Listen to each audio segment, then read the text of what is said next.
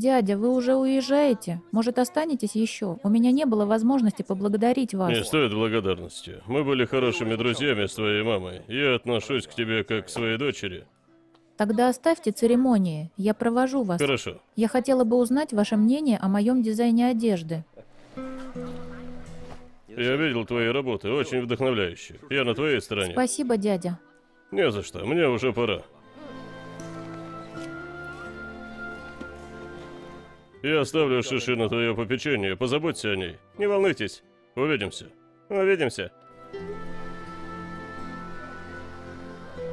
Я благодарна тебе за все, Цзэшень. Если бы ты не нашел дядю Линя, Ты благодаришь не того человека, я лишь выполнил поручение. Твой муж заслужил похвалу. Ладушки, мне пора. Не вмешивайся в ваши семейные дела.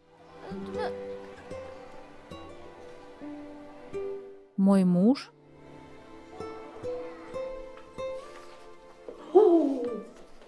Вы двое. Что там задумали? Взгляни на это. Шиши. Это правда великолепное свадебное платье. Ты же не планируешь еще одну свадьбу? Было бы здорово. В этот раз пригласи меня. О чем вы вообще? Работы нет, расплетничаете. Быстро к работе. Боюсь, на рабочий день скоро закончится. Мы просто переживаем за ваши с Муханем отношения. Что в этом плохого? Все, хватит. Идите сегодня домой пораньше. Ты лучший босс на Мы свете. домой.